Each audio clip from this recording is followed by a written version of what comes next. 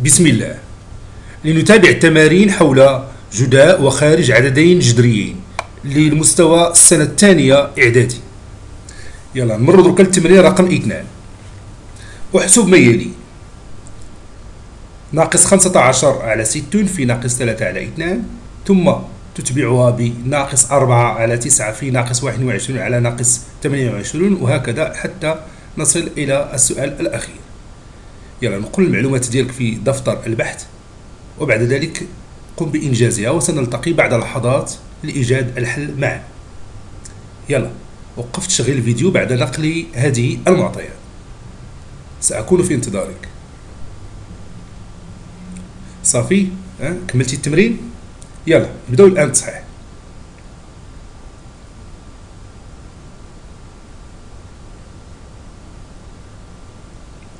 شوفوا الجواب لنحسب ما يلي. نبداو بالمثال الأول. ناقص 15 على 60 في ناقص 3 على 2 يلا في رأيك ما هو العمل الأول الذي سنقوم به؟ مزيان. فعلا سنقوم بعملية الاختزال. اذا فكرة الاختزال مهمة جدا هنا. لاحظ جيدا العدد الجذري ناقص 15 على 60 نعم. يمكن اختزاله بماذا؟ بأي عدد؟ صحيح بالعدد 15 دفعة واحدة. فتعطينا ماذا؟ مزيان سيعطينا ناقص واحد على أربعة هكذا. لاحظ الآن العملية أصبحت بسيطة مقارنة مع سابقتها. يلا ناقص واحد على أربعة في ناقص ثلاثة على اثنان جداء عددين جذريين هو عدد جذري بسطه هو ماذا؟ مزيان عودوا تذكروا القاعدة. بسطه هو جداء البسطين ومقامه مزيان هو جداء المقامين. مزيان هكذا.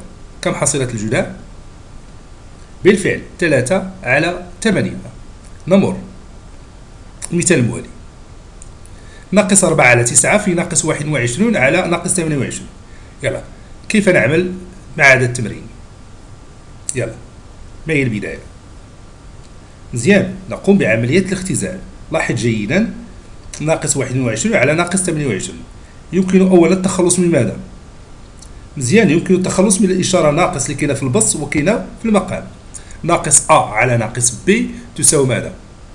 حسب القاعدة آه تساوي فعلا أ على ب يلا وبعد ذلك نختزل بأي قيمة سنختزل؟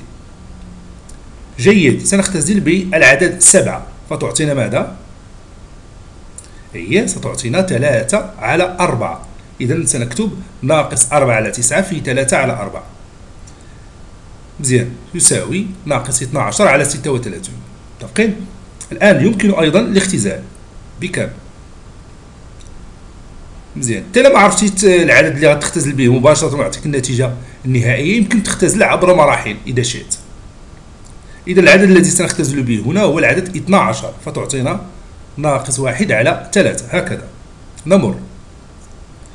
17 على ناقص 34 في ناقص 14 على أو ناقص 42 على 36 يلا اختزل القيمتين.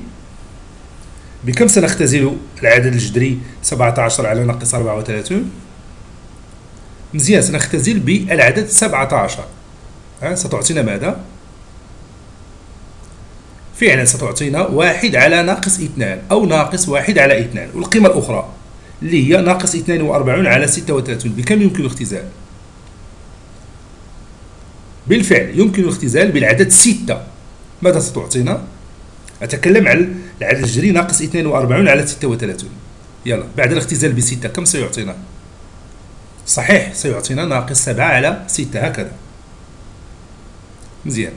الجداء ناقص 1 على 2 في ناقص 7 على 6 يساوي كم صحيح يساوي 7 على 12 نذكر جداء عددين لهما نفس الإشارة هو عدد موجب.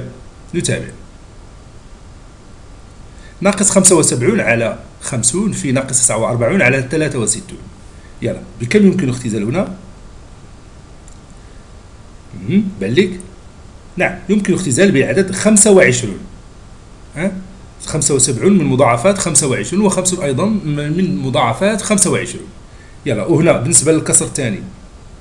ناقص 49 على 63 بكم يمكن اختزال مزيان. يمكن اختزال بالعدد 7 النتيجة التالية هي كما يلي.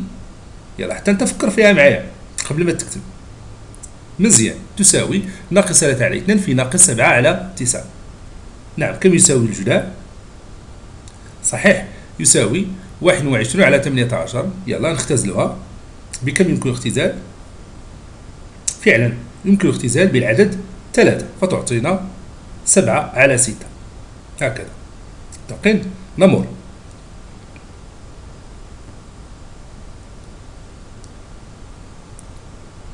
نشوفوا المثال الموالي. ناقص 26 على 52 في ناقص 55 على ناقص 77 يلا اختزل العدد الجذريين. يلا فكرتي في النتائج. مزيان. العدد الجذري الأول سيعطينا ناقص 1 على 2 والثاني 5 على 7 يلا بكم اختزلنا العدد الجذري الأول؟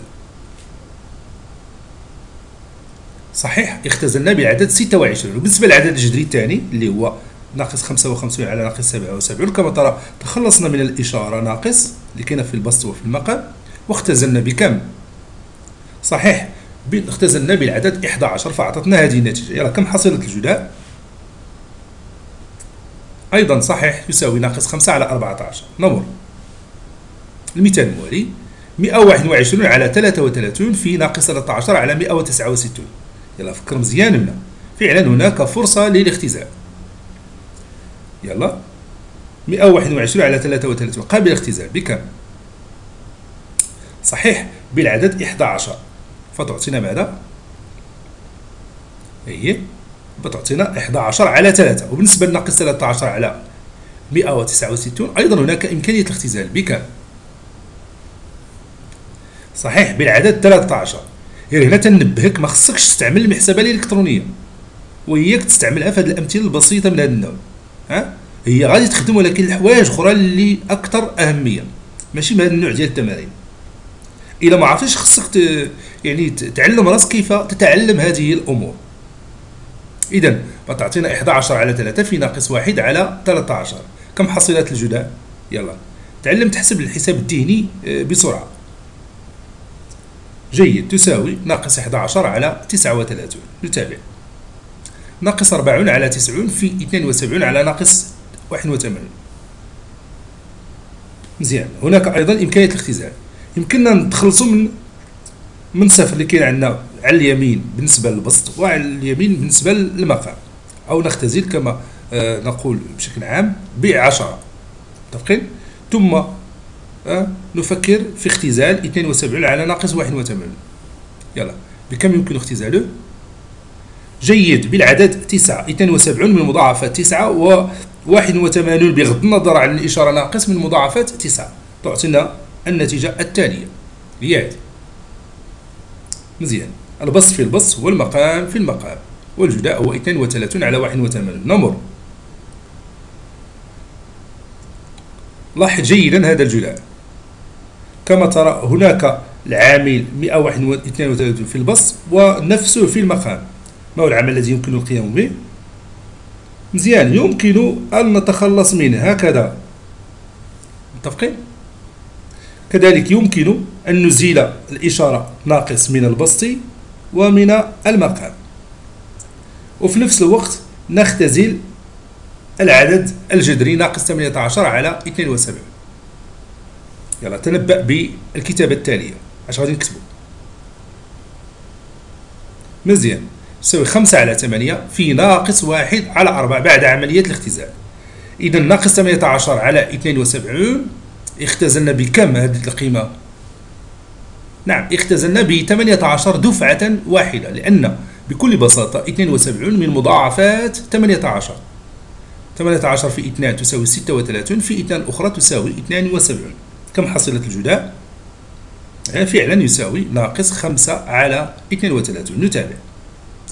12 في 82 على ناقص 7 في 41 في ناقص 16 في 51 على 24 في 102 يلا هنا أيضا هناك إمكانيات للاختزال لجعل العملية بسيطة وفي المتناول دون آه، استعمال أي عملية حسابية. يلا مزيان. نفكروا في 82 مع 41 82 من مضاعفات 41 إذن 82 كما سترى هنا هو 41 في ماذا؟ في 2 فعلا 82 هي 41 في 2 متفقين إذا يمكننا نختزلوا ب 41 هكذا وبيبقى لنا 2 في البسط بتولي عندنا 12 في 2 على ناقص 7 متفقين؟ إذا نظرنا مرة أخرى إلى العددين 51 و 102 نجد أن 102 من مضاعفات 51 أي 51 في ماذا؟ نعم في 2 هكذا. ويمكن لنا نختزلوا ب 51 نحيد 51 من البسط و 51 من المقام هكذا. متفقين؟ كما أن هناك إمكانية أخرى للاختزال. واخا ندير عبر مراحل. نشوف المرحلة الموالية. إذن كما ترى تساوي 12 في 2 على ناقص 7 كما ترى اختزلنا بالعدد 41 والقيمة الأخرى اختزلنا بالعدد 51 متفقين؟ لاحظ مزيان. هي 12 ها هي في 82 من اختزلنا ب 41 بقى العدد 2 ها هو ثم ناقص 7 هي ناقص 16 كما ترى ها هي ثم 24 وأخيرا 102 اختزلنا ب 51 بقي العدد 2 كما ترى هنا شتي مزيان. نتابع. تساوي 24 على ناقص 7 على ناقص 16 على 48 دقيق هناك مرة أخرى إمكانية الاختزال. لاحظ ناقص 16 على 48 هناك إمكانية واضحة للاختزال. بكم سنختزل؟ صحيح بالعدد 16 إذا الآن البسط في البسط على المقام في المقام. تعطينا ماذا؟ صحيح تعطينا ناقص 24 على ناقص 21 ولا زونا الإشارة من البسط ومن المقام. ستصبح 24 على 21 ثم نختزل فتعطينا النتيجة التالية. متفقين؟ نمر.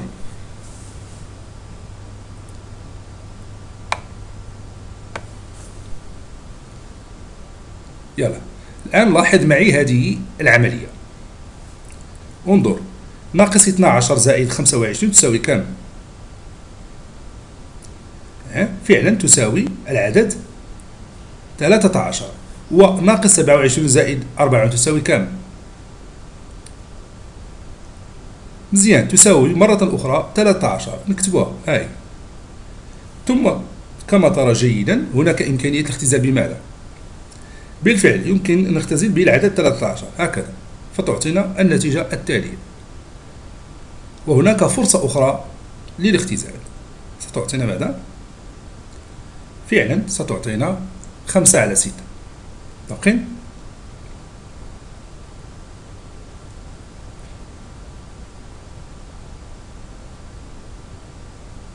إذا انتهينا من تصحيح التمرين السابق. الآن غادي نعطيك التمرين رقم ثلاثة. غتقوم بالإنجاز ديالو. غادي نصحوه إن شاء الله في الحصة المقبلة بحول الله. أو شوف المعطيات ديالو.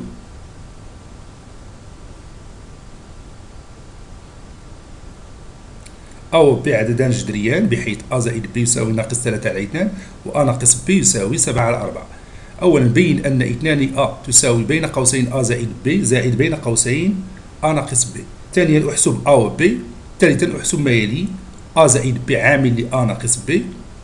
ثم أ ناقص 5 على 2 عامل ل ب زائد 1 على 3 الجواب غادي نشوفوه إن شاء الله في الحصة القادمة بحول الله كما وعدتكم.